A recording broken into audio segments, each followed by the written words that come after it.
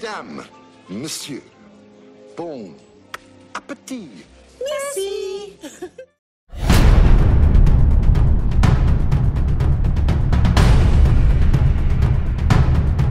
Chers téléspectateurs, bonsoir et bienvenue dans notre nouvelle émission de Que sont-ils devenus?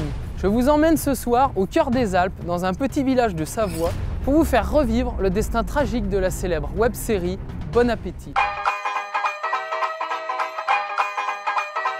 Après plus de 10 années de succès, la série a connu quelques déboires. La passion semblait quitter les héros, Fabien Meyerhofer et Victor Galuchot. Certains magazines People nous dressaient alors des portraits inattendus de nos deux skieurs devenus des stars malgré eux. Et c'est lors du dernier tournage de l'épisode 3 de la saison 12 que la web série s'est arrêtée. À l'époque, personne n'a vraiment su ce qu'il s'était passé. Aujourd'hui, pour vous, nous avons retrouvé les images.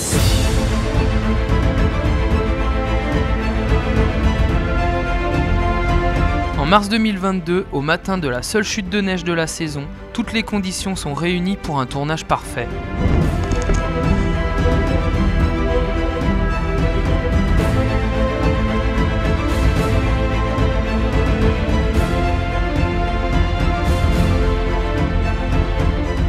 Malgré une poudreuse de cinéma, nos deux skieurs ne semblent prendre aucun plaisir. Ah, je pense faut que faut que t'ailles vite et que tu tournes vite parce que c'est tout petit. Ils vont même jusqu'à se mettre des bâtons dans les roues.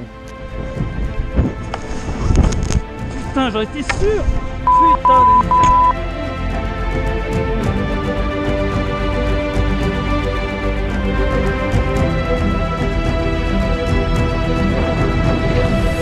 Et voilà, comme d'hab, la main sur le frein à main, ça ressemble à rien. On peut plus de ce type.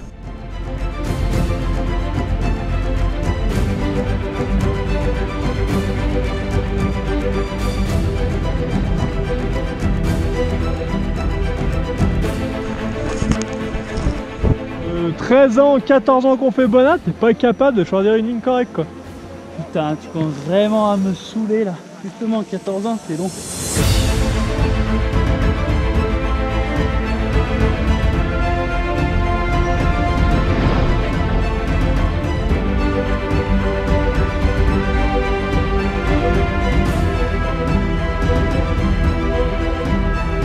Regarde, euh, j'ai un nouvel appareil photo, Arthur, il est pas mal là. Ils sont encore en train de se branler sur leur matos, tu paries Tu vas voir. Oh mais oh Mais c'est vraiment devenu le dernier des connards celui-là quoi. Nico, je me casse. Tout au long de la journée, la tension ne fait que monter. Tu vas faire quoi là?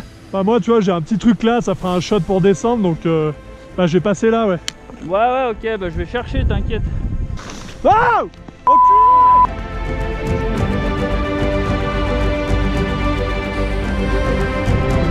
Ah bah y'en a que pour toi là Et forcément, la coupe est pleine. Dans un excès de folie, Victor pousse Fabien à la faute. Ouais, Fab, désolé tout à l'heure, je t'ai piqué la ligne, mais je voulais me rattraper. Je t'ai trouvé un top drop là, t'as le shot de l'année, c'est nickel. euh, Tu peux seulement y aller euh, plein feu. Bon bah ok merci nickel pour la pour la ligne, je range la radio, j'y vais quoi. 2, 1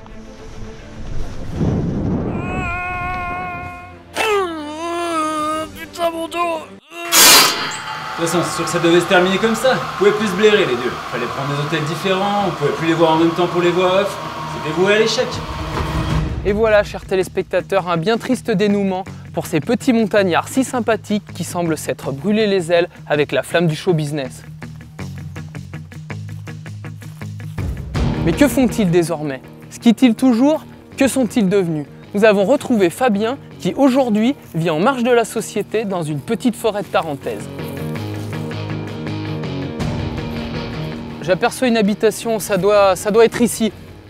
Monsieur Meyerhofer, il y a, y a quelqu'un? Putain, c'est Non, c'est Dégage, dégage, dégage Ne pas, c'est Denis Balus. Bonjour Monsieur Meyerhofer. Salut Denis Dis bonjour à chef Joséphine et après tu viens faire le tour du manoir. Bonjour, Bonjour. Joséphine. Voilà bonhomme, t'es dans le palace. Ici c'est le living room. Au-dessus, il y a la chambre à Joséphine et moi. On va aller faire un... Non, on va pas y faire un tour, c'est privé, ok D'accord. Bon, ça j'imagine c'est votre coin cuisine. Bien vu Sherlock, c'est pas un chiotte hein. D'accord. Et cet ordinateur, donc finalement vous n'êtes pas totalement coupé du monde. Bah en fait c'est quand Joséphine a fait un petit tour dans la forêt. Je me fais un petit documentaire animalier. Ah ouais, je vois bien. Non tu vois pas du tout. Et en rentrant, en rentrant j'ai vu des skis. Ouais qu'est-ce que vous skiez encore? Ouais, bah je fais du ski, ouais, c'est ma passion quand même, hein, ça reste ça. hein. Mais dites-moi, en 2050, vous skiez encore avec ce genre de matériel? Bah ouais, j'ai tout gardé, les matos, là, 2015, 2017, c'était quand même assez léger pour euh, ma passion du CAF, là. Mais ça skie bien à la descente, tu vois, maintenant les marques, elles font des trucs à 200 grammes, tu claques plus un virage, c'est de la daube. Et regarde, allez, je te sors les skis du musée. Ouais, montrez-moi. T'as déjà vu les skis de pousse, banane? Oh, j'avais les mêmes. C'est vrai? T'as connu la puff, toi? Ouais, les dernières années, c'était la bonne époque. Mais ouais, la bonne époque, ouais, putain, qui dis-tu? Et à propos de bon appétit, ça vous dérange pas de m'en dire plus? Bah si, ça me dérange, hein, de toute façon, c'est pas des belles années avec l'autre trou de balle, mais euh, allez, je te paye un thé, on va en parler. Arrache-toi, Joséphine, là Merci de nous recevoir. Ah, je vois que vous faites votre propre pâté. Bah ça, c'est Marcel, la sœur de Joséphine. Elle voulait pas dormir avec moi, elle bouffait mes fringues. Ah. T'aimes pas la chef, bonhomme? Ah, si, si, si. si. Bon. Très bien. Très bien À, à propos de vos cheveux, on s'est quitté il y a 20 ans, vous aviez pas un cheveu sur le caillou. Ah mais ça, c'est l'autre gars tiède, ça. Tu sais, après avoir fait sauter la barre de 25 mètres. Eh ben, il a créé sa marque de shampoing, la bonne idée. Regarde, je me rase tous les deux jours. Et t'imagines le merdier ailleurs? Ouais, je comprends. Non, tu comprends rien.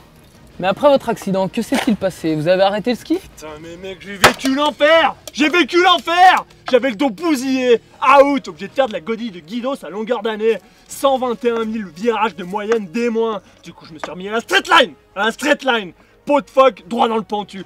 Qui l'aurait cru, bonhomme Euh, Qui l'aurait cru Je vais vous laisser, je vais vous Mais laisser. tu veux pas visiter la chambre un petit coup quand même Non, ça va, je, T'aimes pas le thé, Je c'est dois y ça aller- Je dois y aller. en Ok. vrai. Il est temps de partir. Nous allons maintenant écouter la version de Victor Galuchot. Oh, tu vas pas aller voir Gina Tu vas pas aller voir Victor Pour vous, chers téléspectateurs, nous sommes allés à la rencontre de Victor Galuchot. Nous avons rendez-vous avec lui dans une de ses nombreuses résidences secondaires. Nous sommes au Menuire, station symbole de sa réussite, dont il est le principal actionnaire. Nous allons sans plus attendre le rejoindre puisque j'entends le rugissement de sa voiture. Salut Lily. Bonjour Monsieur Galuchot. Ravi de te rencontrer. On va faire une belle émission. Tu sais que je suis bien copain avec ton patron? Suis-moi petit, je vais te faire faire le tour du proprio. La dernière fois que nous avons vu Victor, c'est pour la célèbre émission Colanta. Racontez-nous ce qui vous est arrivé depuis.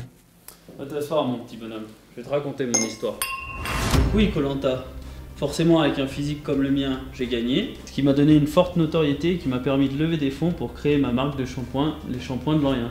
Expliquez-nous la success story de cette marque qui a su mettre à genoux l'Empire L'Oréal. Après toutes ces années auprès de Fabien qui perdait ses cheveux, j'ai eu l'idée du siècle. Ah. Après ça, on avait bien fait bosser ces cons d'ingénieurs. On avait la recette pour faire pousser les cheveux avec la chiure de poule, on pouvait attaquer les tests sur Fab. Allez, je t'en sers une. Allez, monsieur Galuchot, on prend une petite sœur. Et là, tu vois, tous les fans quarantenaires de Fab, quand ils ont eu comme ça pousser sur sa caillasse, eh ben j'ai reçu des commandes chier par-dessus les murs. Et c'est comme ça que j'ai mis à genoux l'Empire L'Oréal. Champion, ça s'arrose Oui, monsieur le maire. Un apéro dînatoire pour la commission d'urbanisme Ouais, je suis là dans 5 minutes. Allez, je te laisse là, mon jeune. J'ai du boulot. Tu retrouveras bien ton chemin.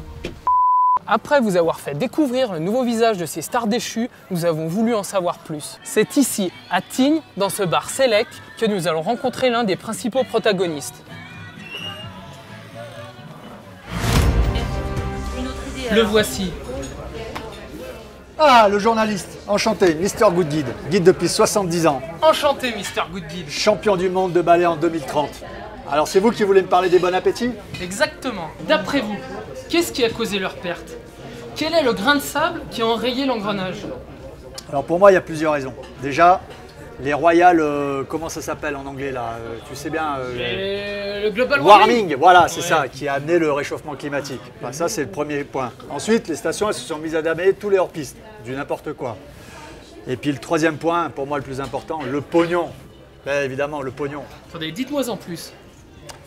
Alors, Victor, je pense qu'il a fait une petite entreprise dans le dos de Fabien. Il a voulu monter un petit peu euh, de produits via l'hélico Bon Appétit, les pots de phoque. Puis sa fameuse boisson énergisante, là, euh, l'œil du bouquetin. Enfin bon, ça a marché. Il a gardé tout le pognon pour lui. Voilà. Écoute, moi, t'as une bonne gueule. Tu m'as l'air sympa pour un journeux. Si tu veux, je te raconte un peu plus autour d'un bar et de charmante compagnie. Arrive vers là. Vous attisez ma curiosité. Je peux pas te le promettre, mais je vais essayer de les contacter pour les rabiboucher. Ça, ce serait génial Eh ben oui, c'est sûr. Allez, Ced, courage. Allô, Victor Salut le botoxé. Allô, Fab Ouais, Putain, salut, trop content de t'avoir. Dis-moi, Ouais. euh, je suis un petit peu nostalgique du bon vieux temps là. Ça te dirait une journée de ski à Tignes demain? Rendez-vous Ok, 8 heures allez, une journée, hein. Mais que tous Ouais. les deux, hein. Bon, je vais venir quand même, pas de soucis. Eh ben allez, parfait. 22 demain. ans plus tard, l'équipe Bon Appétit allait de nouveau être réunie sur les skis. Allez Fab, fais pas la gueule Ça fait combien de temps que vous avez pas fait un truc ensemble avec Victor? Ça fait 22 ans, 6 mois et 121 jours que j'ai pas fait un truc avec blaireau. Mais c'était bien assez. Allez Fab, je te vois, c'est trop le swag, c'est chamé. Tu viens t'encorder avec nous. Tu me le mets, je vois rien avec cette cabine. T'inquiète. On va y aller doucement. Allez, Zai Mais la tâche était lourde. Rien n'était joué. L'ambiance entre les deux compères restait électrique. Allez Carlos, ça va le faire, hein. Tu vas y arriver en haut, t'inquiète. Tu sais pas ce que c'est d'être asthmatique, toi. Putain, il y a un gros tas de merde, il avance rien. Paye l'ISF pour que les minables comme toi, ils aient le RSA. Ah, tu te mets pas en bas le Big Mac là, hein. Allez, tiens-la bien cette corde, hein. J'aurais dû appeler l'hélico, je savais bien. L'autre pique, il est plein de botox, il fait le barbeau. En tout cas, mon Botox, c'est pas grâce aux épisodes Bonap que je me suis payé. hein. 35 euros par épisode. J'ai calculé, ça me faisait 1244 euros sur 22 ans.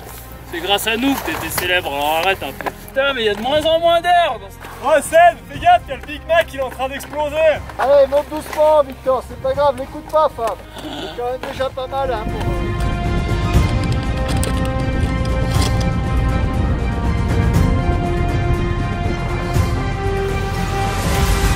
Alors, t'es pas dans ton bureau, hein Allez, Victor, faut tenir J'ai oublié ma ventoline Encore, il a pas les cheveux dans la gueule, hein.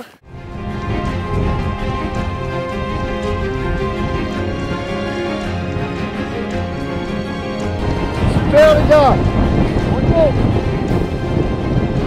Je vais m'acheter des autres poumons. Ouais, j'aurais jamais cru que tu arriverais, c'est tout. Putain, merci. Ça fait du bien quand même. Mais sur toi, je suis Dans l'intensité de l'effort, la magie opère et la glace se brise enfin. Ouais, merci, ouais, c'est bon, présente pas trop, mais merci. Ouais, ouais, c'est bien, c'est bien. Ouais, ouais. Oh, oh, oh, c'est bien. Oh, ok, ok. Allez, réconciliez-vous Oh, maintenant. Merci quand même. Allez, les gars, bonne fois. Content d'être là. Ouais, pour une fois que t'es content de faire quelque chose, c'est bien. ouais. Faire un petit shot là, je vais le mettre à l'amende à la descente. À la surprise générale, c'est dans une ambiance amicale que l'équipe pouvait se lancer dans la descente. Il y a 5-6 ans, j'avais fait une piste noire, mais je me souvenais pas que c'était impressionnant comme ça. hein. Bon, J'espère que le gros plein de soupe il va se traîner en bas quand même. Ça a l'air bien parti.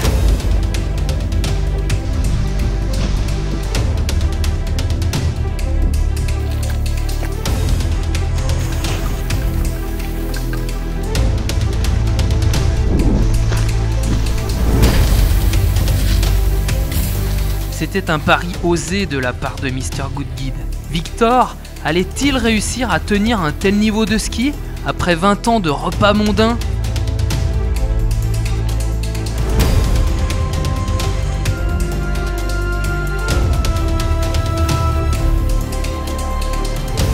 Là, en rasant les cailloux, ça a l'air de passer pour aller à droite. Hein.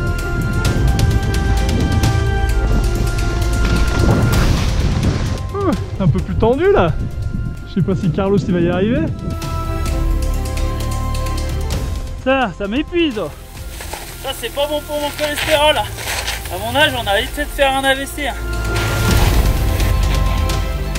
Après s'être serré les coudes dans cette vertigineuse descente de ski extrême, où un manque de collaboration aurait pu être fatal, Fabien et Victor semblaient enfin réconciliés. Quand même bien, hein. même si t'es devenu un vieux babos, un coup de tondeuse, et j'apprécie encore bien de skier avec toi. Ah bah tu m'aurais pas mis ces cheveux de merde, mais bon, c'est vrai que c'était, c'est pas mal de skier avec toi aussi. Bon, t'y vas Allez, ça te fera perdre du poids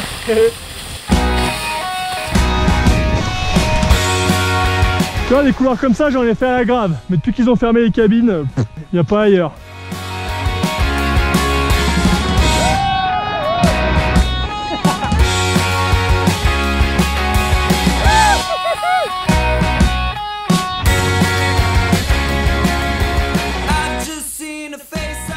Bon bah les gars, ma mission est terminée, vous êtes rabibochés, c'était le but. Je pars vers des missions beaucoup plus périlleuses. Payez mon URSAF, salut. Merci Seb Merci, Brian Après cette belle journée de ski, nos deux protagonistes se sont enfin rabibochés. Et pour conclure en beauté cette émission, ils ont souhaité se réunir pour la commémoration de leurs meilleurs souvenirs durant l'aventure. Bon appétit. Ah, il nous a quand même bien pris les parts de marché hein, sur, euh, sur la web série là. Ouais, mais on avait fait ce qu'il fallait pour l'arrêter. Ouais, on était allé un peu fort. T'inquiète, je sais qu'il la planque là-dedans. Bon, on arrache tout, ça devrait le faire. Ouais, Il est là le veau. Attends, je sais comment l'ouvrir, j'ai vu ça dans le film de Beverly. Putain, efficace. Vas-y, ça doit être ouvert. Nickel. Bon.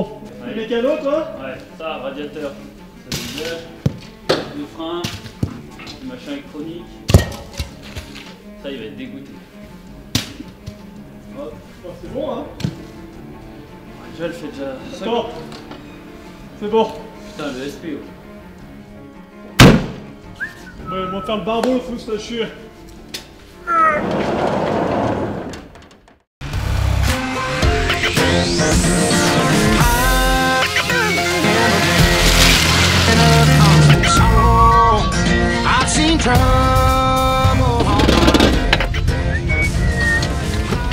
Ah merde C'est quoi ce bordel là Bon c'est pas grave.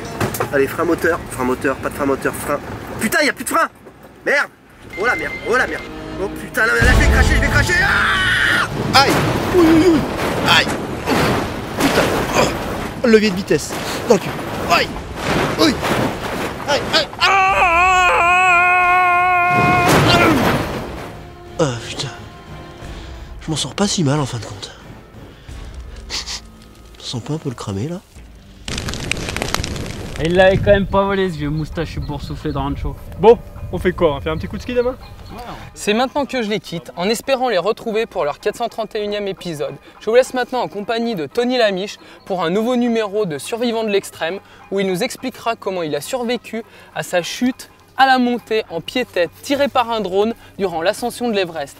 Merci à tous de nous avoir suivis et à bientôt pour une nouvelle édition de Que sont-ils devenus?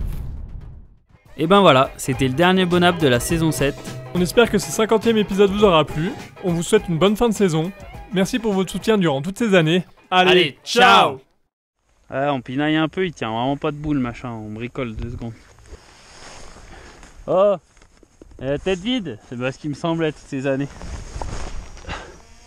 Oh nickel Il a trop bien sauté Yeah